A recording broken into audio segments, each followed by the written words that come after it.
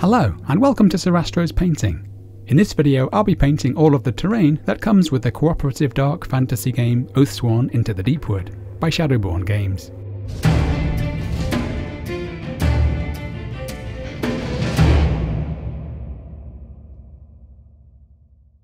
The game comes with six walls, five trees, and two cabins, and in this episode I'll be using some nice easy techniques to capture the rich and atmospheric mood of the board.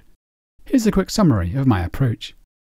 I'll be priming the terrain in black, followed with a zenithal pattern of light and shade. We can then apply the main colours, where I'll be freely wet blending various tones from the contrast range, and you can use whatever speed paints you like here.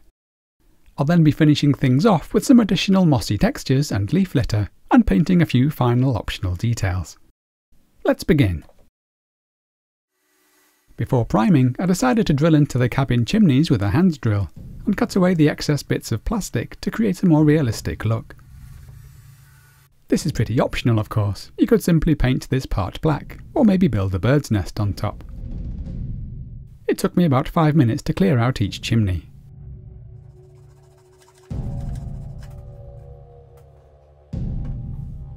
Next I'm gluing all of the trees together with superglue, providing a fair bit of force for the lower parts to get the joins as tight as possible.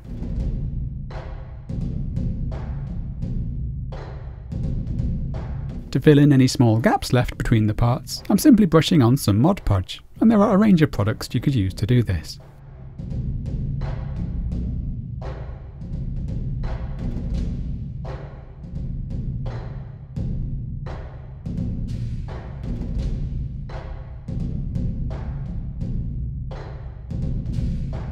As another little optional touch, I decided to glue down a couple of resin skulls to add to the atmosphere.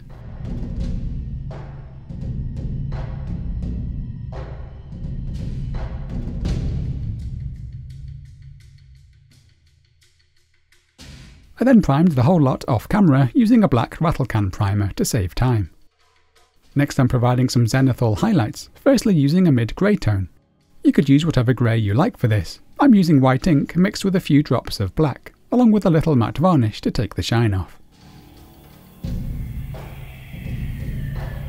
You can see I'm hitting most of the model with this, mainly from a roughly overhead angle to allow the deeper recesses to remain black. If you don't have an airbrush, you could either use a rattle can or use a large dry brush or makeup brush instead. Just remember to pull the brush in a mostly downwards motion as you go.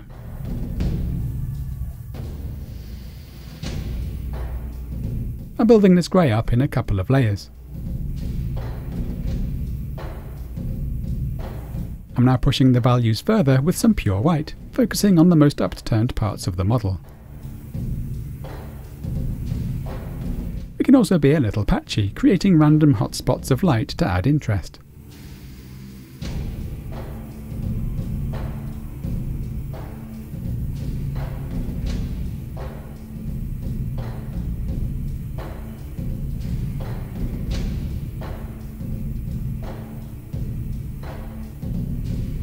Finally, I'm going to do some dry brushing with some pure white. This just means using a large brush and wiping most of the paints away, before dragging the brush repeatedly across the surface of the model in a mostly downward motion.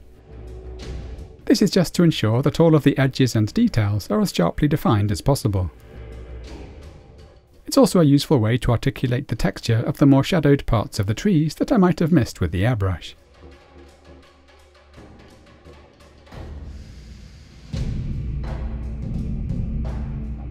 We can also use a regular brush to provide some edge highlighting to the main edges of the hut if you like.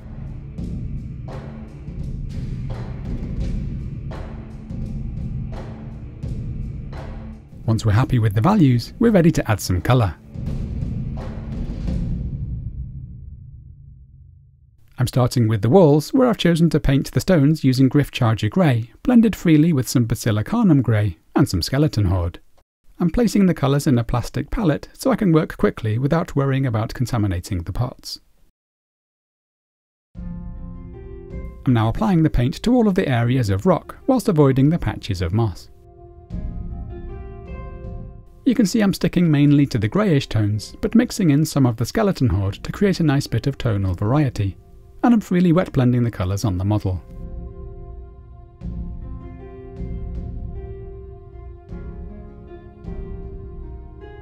Needless to say, you don't have to use these exact colours of course, and I'd encourage you to have a play around with whatever tones you like.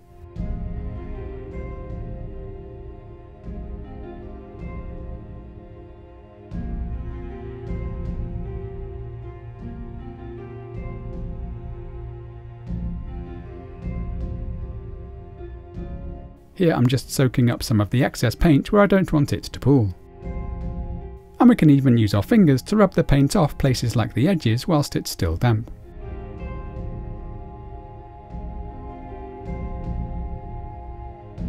Once that's dry, I'm now painting the moss, where I'm using mainly Ork flesh and plaguebearer flesh, along with a little Aggaros dunes.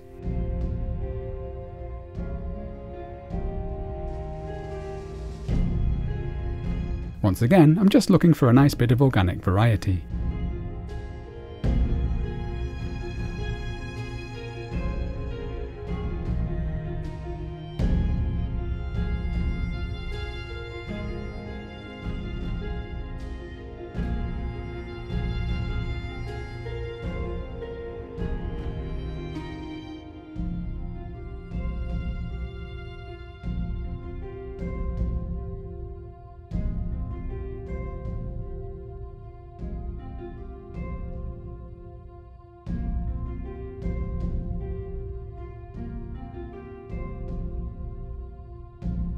Apart from applying some matte varnish and optional leaf litter, this completes the walls. Next I'm moving on to the trees where, for the lighter upper half, I'll mainly be using Skeleton Horde, which I'll be varying with some Plaguebearer flesh and some Magos purple. For the lower half I've chosen to use Wyldwood, which I'm thinning and desaturating with some Gryph-Charger Grey, and I might also use some Ork flesh.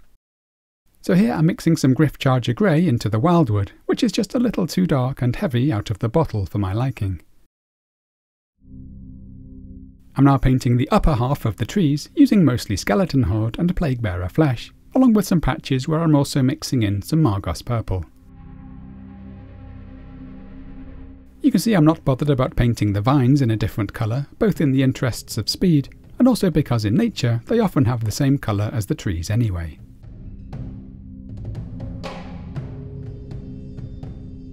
I'm now using the Wyldwood and Gryph-Charger Grey mix for the lower portion of the tree. I'm blending it up into the lighter part above.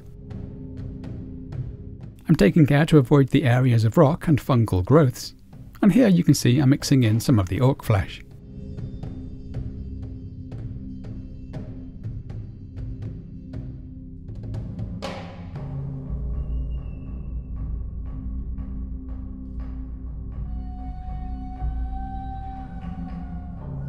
I'm now using some of the greyish colours I used for the walls. And for the outer part of the fungal growth, I'm going to play around with some Volupus Pink and Magos Purple. The Volupus Pink is a pretty intense colour, whereas the Magos Purple is a fair bit thinner.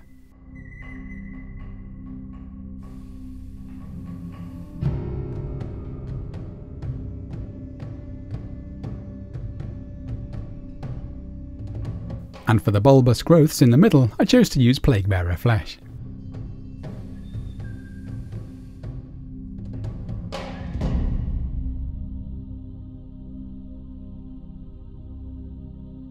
These are now looking pretty good, and you could absolutely stop here if you like.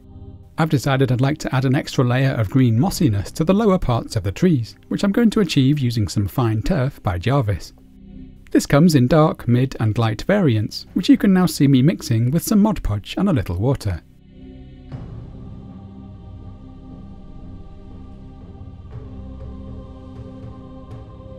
I'm now stippling this mainly onto the lower half of the trees, trying the different colours out as I go.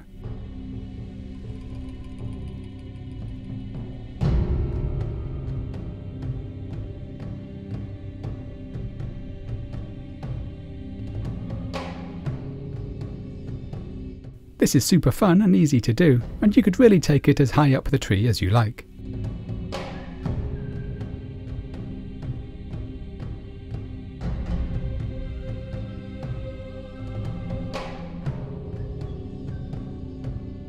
We can build the texture up in more than one layer to our liking.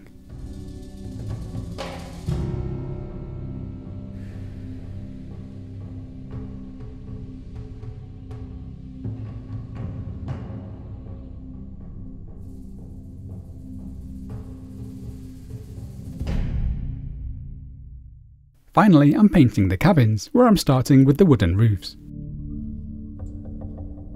For this, I'm using roughly the same colours that I used for the upper trees, along with some touches of Gryph-Charger Grey to desaturate the tone. And here I'm using the Wyldwood and Gryph-Charger Grey mix for the recesses. I'm continuing round the panel work in the same way, and we'll be creating a fair bit of shadow caused by the overhanging roof. Holding the model upside down just helps to get the paint to flow up into the recesses.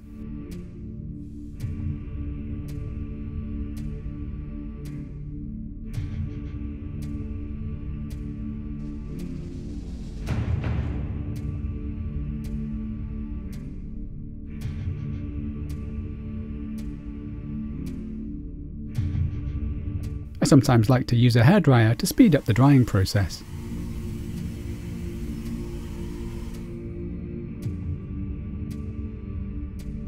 I'm now painting the mossy growths using the same colours that I used for the walls. And the same is true of the stonework.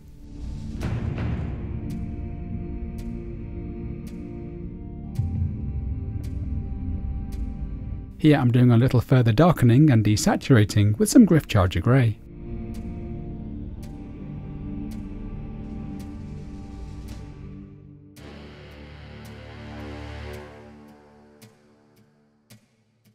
And I'm once again adding plenty of mossy greens, just like I did with the trees.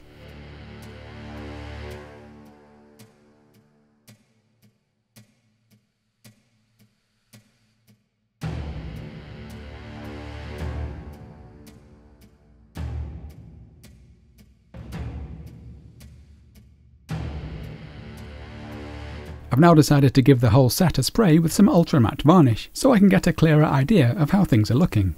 You could of course do this at the very end instead. This is pretty optional, but here I'm painting the door handle with a bluish grayscale.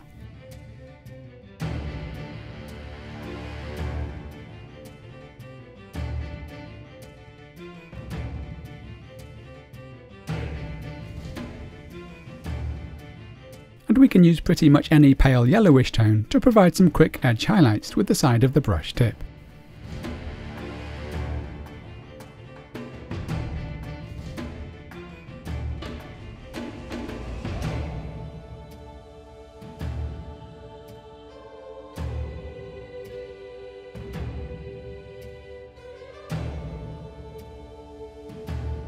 I'm also providing a little colour for the skulls.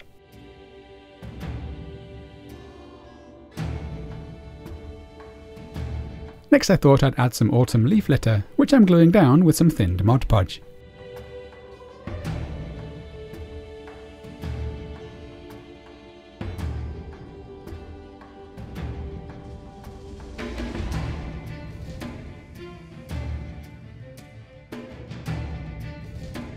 Can also apply some leaves to the trees and the walls. And to finish things off, I thought it would be fun to sketch out a witch's pentagram on the door of one of the cabins, using scale colours Deep Red and Antares Red. After plotting out the five points of the star, I'm now joining the dots, then drawing the circle.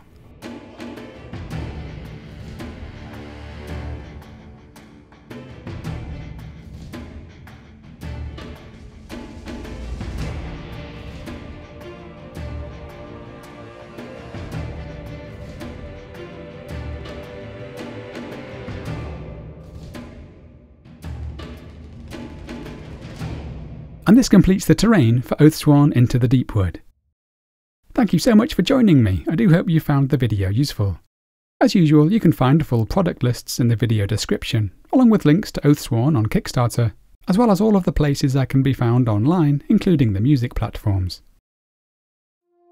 My very special thanks go to my kind patrons for funding this work. If you'd like to support what I do, feel free to hit the Patreon link to find out how you can help.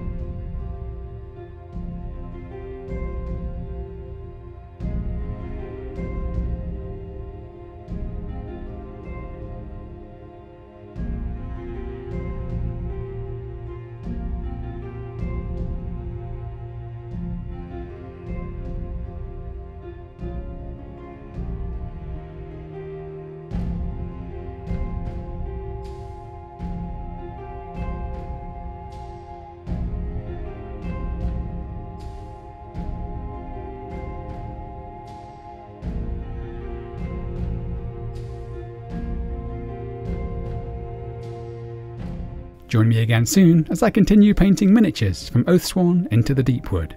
Happy painting!